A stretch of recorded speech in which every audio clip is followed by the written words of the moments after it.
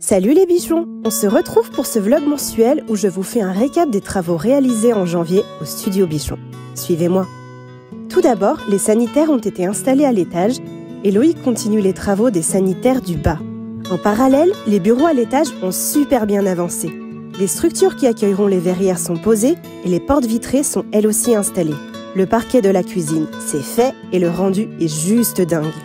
Pour suivre l'avancée des travaux du studio, rendez-vous sur notre chaîne YouTube Bichon TV, playlist Studio Bichon. On vous partage toutes les étapes de la rénovation et on vous donne quelques conseils. À bientôt pour un nouveau vlog.